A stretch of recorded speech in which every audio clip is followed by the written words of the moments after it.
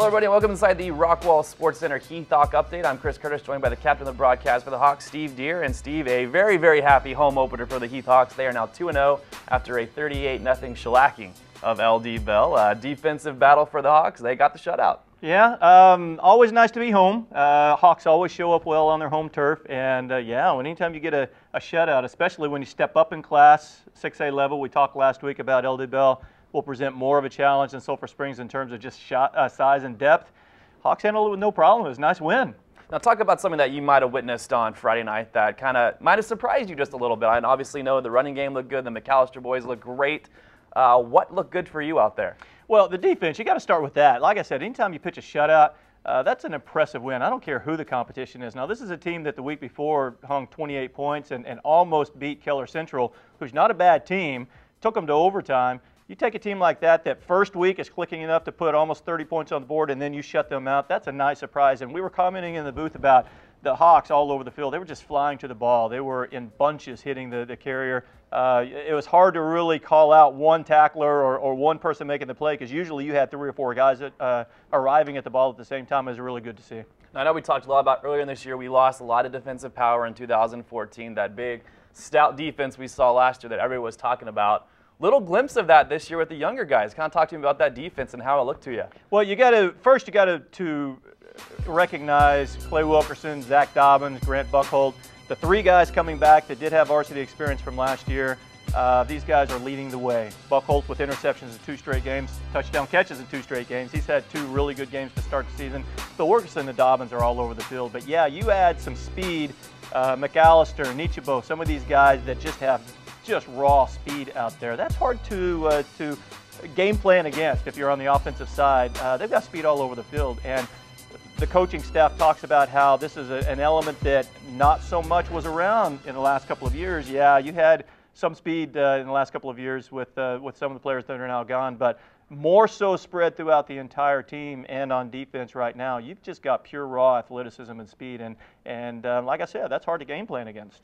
Ichibo obviously has one of the greatest names in all of high school football this year. Mo Julian Ichibo, yeah, that's a fun one to say. Absolutely. Well, you got to think Mickey Moss was happy with his team's 38 0 victory over LD Bell. Let's hear what he had to say.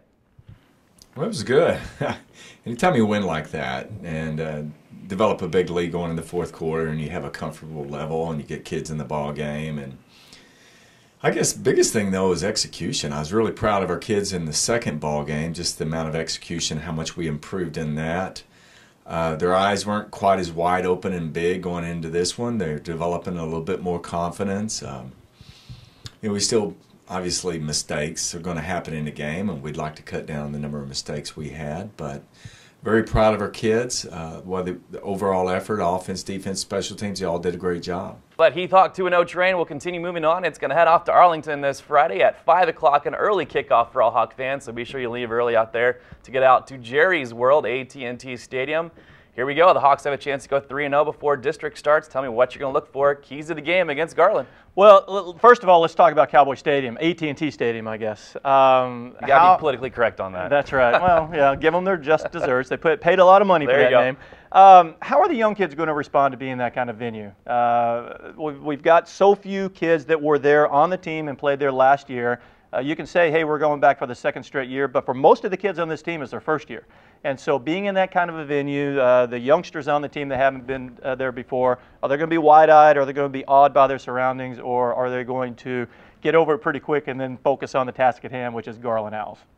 And of course, Rockwall Heath played Garland at Garland last year, 21-14. It was a pretty physical battle all the way around the boards. Can I talk about are we going to be seeing that same thing this year? Well, yeah, I hope so because Garland brings an element. Uh, well, it's definitely a step up in class from what they've seen so far. Uh, this early in the season, it's really hard to tell what kind of quality you have in competition. I think uh, a lot of that has to do with the Hawks showing up and being really good themselves, and that's made the other teams look uh, maybe more poorer for lack of a better word, not as good as they, they may look otherwise. Sulphur Springs came back and won Friday night, so that shows that they, they've got something. Um, but uh, they're stepping up this week. Garland Owl is a uh, they're a, a, better team than what the Hawks have seen. They bring much more athleticism, uh, a much more high octane offense than what the Hawks have seen so far. So um, yeah, uh, they're going to have to get over the awe of being in AT&T Stadium pretty quick and focus on those guys because if not, they'll find themselves behind the eight ball pretty quick. It's going to be interesting to see if they can go 3 and 0 in non-district. Let's hear what Mickey Moss has to say about the bright lights of AT&T and playing Garland. You know, I think for them, just the opportunity and what a blessing to get to go and play on that field in that stadium.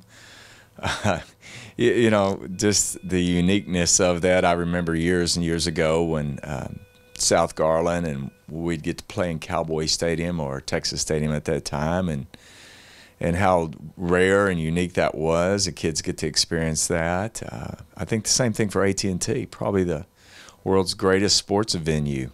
Uh, we're going to get to play on that in Texas high school football on a Friday night. And I said that's pretty awesome.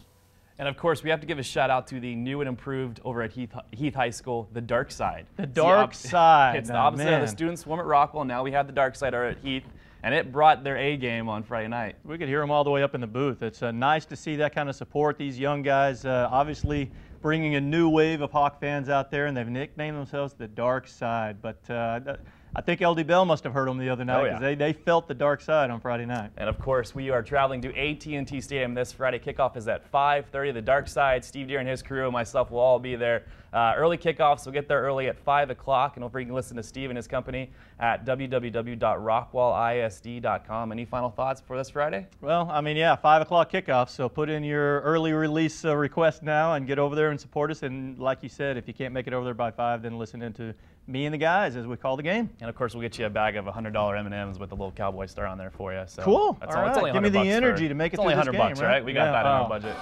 all right, it's www.rockwallisd.com. We'll see you then. Have a great time, Hawk Nation.